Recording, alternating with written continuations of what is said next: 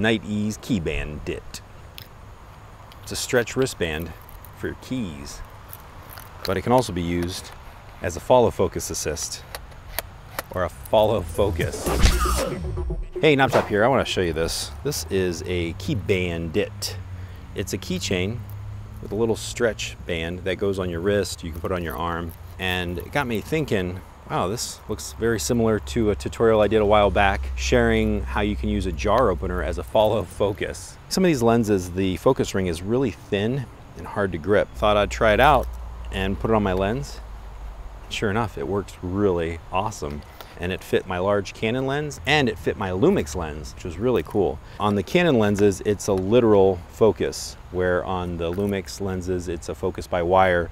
So you're not gonna be able to do exact focus pulls, but you will have a very good grip on that focus ring as you're turning it. And in this case, I even tried it where I just left the key ring on and you can just pull it just like that. That's pretty slick and it worked pretty well. You can see here, it's pulling focus nice and smooth. Those of you that have a camera that let you tap focus, it's an awesome feature, but for handheld live shooting, tap focus gives you a really awkward focus. Let me show you. That's, that's what it looks like when you tap focus. Now let me show you what it looks like when you do a manual rack focus. Pull that in.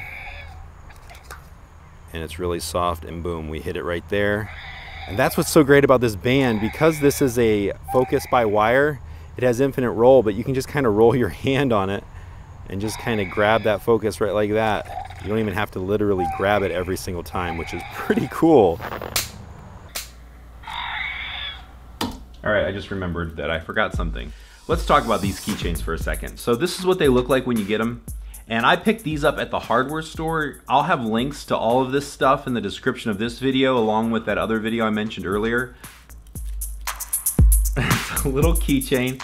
I took the keychain part off this one, but you'll see you have that little eyelet hole that you could do something with. This one has it still on there. It's a little loud. You probably wouldn't want to leave that on too much if you're doing too much handheld because you would hear that. So as far as the material is concerned, it looks like it's like a plastic and you can see that the edges are rounded. Really cool design. Doesn't look like it's gonna rip or tear.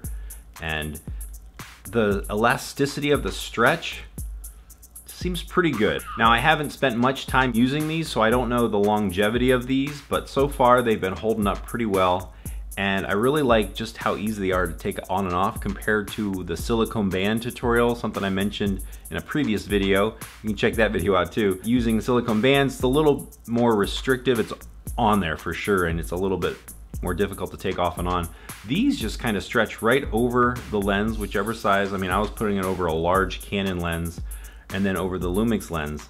And so far my Lumix lens is my favorite setup for these. With this on there, it's really nice because you're just barely touching the lens, you know exactly where that focus ring is and you can just tweak it ever so slightly. Really great for handheld live action filmmaking or YouTubing. How you can use a jar opener as a follow focus. All right.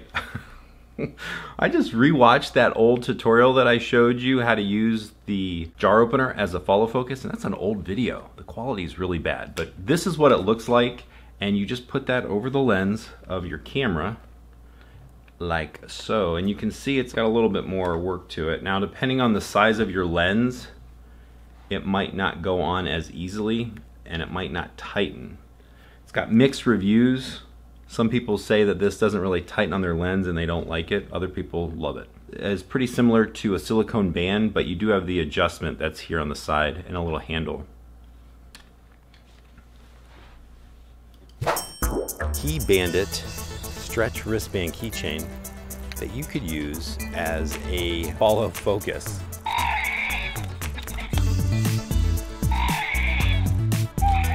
Thanks for watching. Knoptop, go make something.